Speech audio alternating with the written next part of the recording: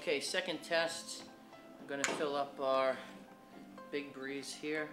This time we're going to use the uh, insulated windscreen and also the insulated lid. Okay, insulated lid on top and insulated windscreen. Put that around. Okay, I have the lid. Um, I'm gonna just put this right on top. Start the clock.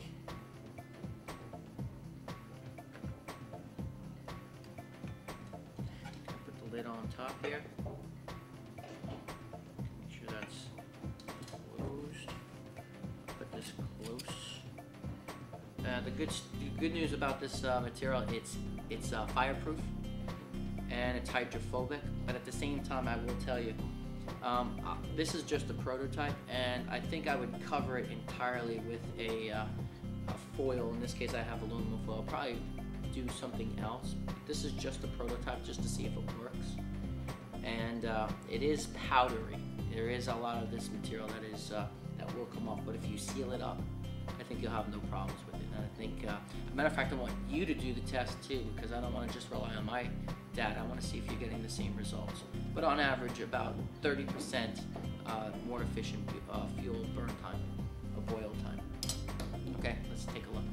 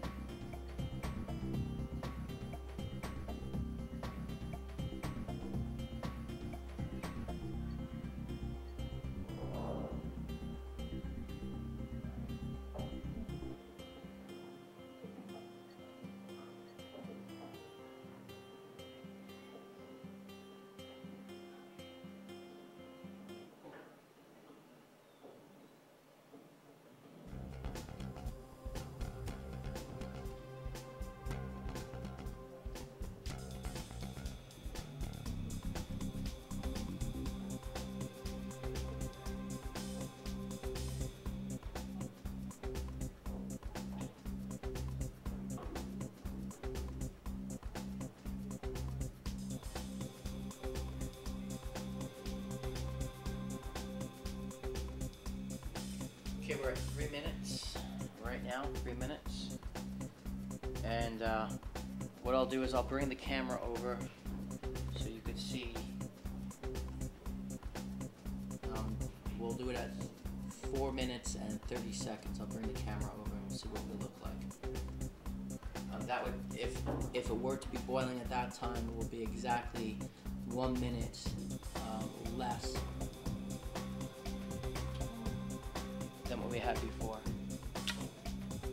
I'm starting to hear starting to hear a little bit of noise going on. We might have to bring it over earlier.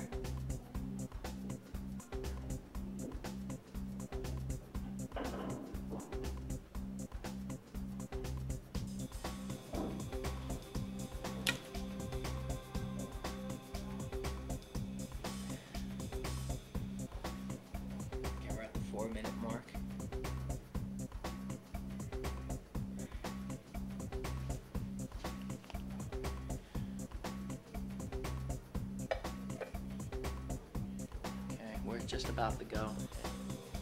Bubbles are happening, but I want it an actual rolling boil.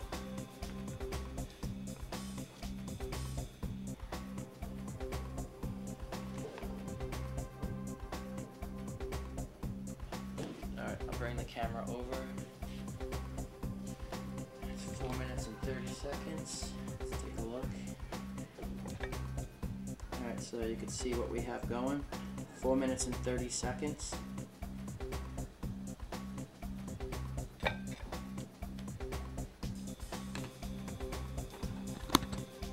Okay, so at about 4 minutes and 30 seconds we had ourselves a boil.